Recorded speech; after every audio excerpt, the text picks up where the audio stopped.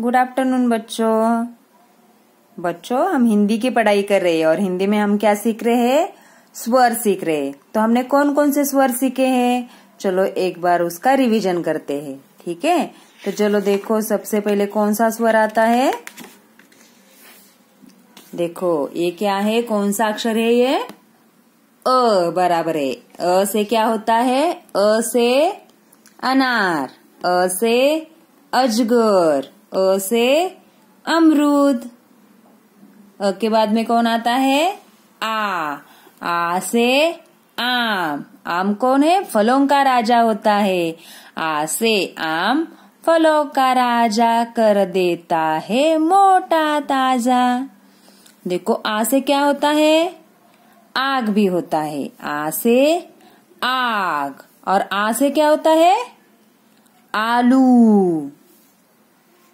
आ से आलू। सबको पसंद आता है ना आलू? हम्म तो देखो आ के बाद में आता है ई। ई से इमली। ई से इंद्रधनुष। जो हमें दिखाई देता है ना आसमान में ई से इंद्रधनुष। ई से इमरती। ई से इमरती। ई से इमली सबसे न्यारी। खट्टी मीठी, प्यारी प्यारी। ई से इमली के बाद में आता है, ई से ईख। ई से ईख। ई से ईट। ई से ईख भी होता है और ई से ईट भी होता है। ई से ईख खेतों में उगती, इसके रस से चीनी बनती। जो हमारे खेतों में ईख आता है ना, उसके रस से क्या बनती है? चीनी। चीनी का मतलब होता है शुगर, यानी शक्कर। तो इस ईख के रस से शुगर बनती है। देखो, ई के ई के, ई से ईख के बाद में कौन आता है? ऊ। उसे उसे क्या होता है? उजाला भी होता है। और उसे बड़े बड़े आँखों वाला कौन होता है? यस उसे उल्लू। देखो, आ गया बड़े बड़े आँखों वाला उल्लू। उसे उल्लू भी होता है। और उसे उपवन भी होता है। और उसे उपहार भी होता है। तो देखो, उसके आगे का अक्षर आज हमें सीखना है। उसे उल्लू के बाद में आता है उसे ऊँट देखो, उसे ऊँट, देखो कैसे बड़ा बड़ा ऊँट है।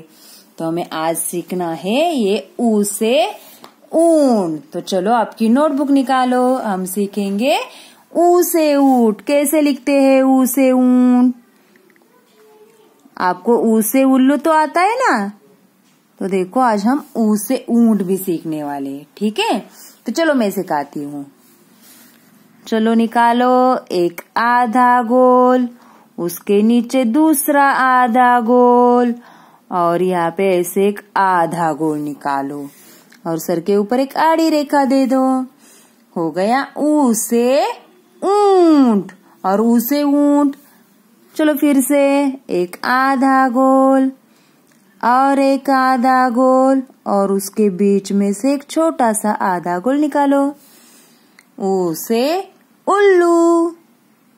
एक आधा गोल, उसके नीचे और एक आधा गोल, और उसके बीच में से एक आधा गोल निकालो बाहर की तरफ़। ऊ से ऊँट। और ऊ से क्या होता है? ऊ से ऊँट। और देखो क्या क्या चित्र है हमारे।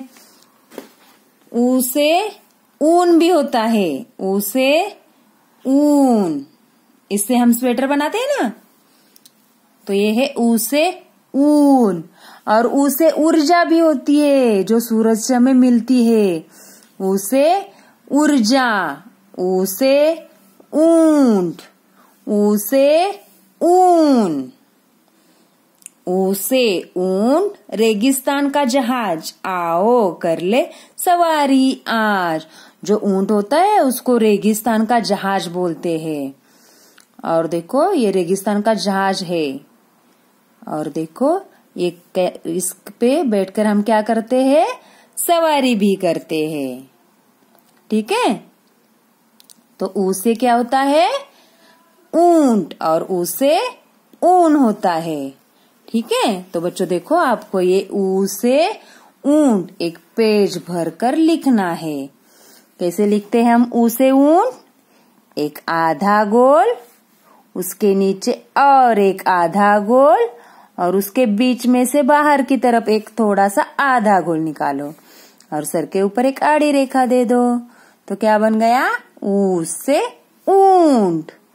ऊ से ऊर्जा। ऊर्जा भी होता है ना ऊ से। और ऊ से क्या होता है? ऊ से ऊन भी होता है, ऊन। ऊ से ऊन। तो इस प्रकार आपको एक पेज भरकर ऊ ऊ ऊ लिखना है। ठीक है? Bye bye.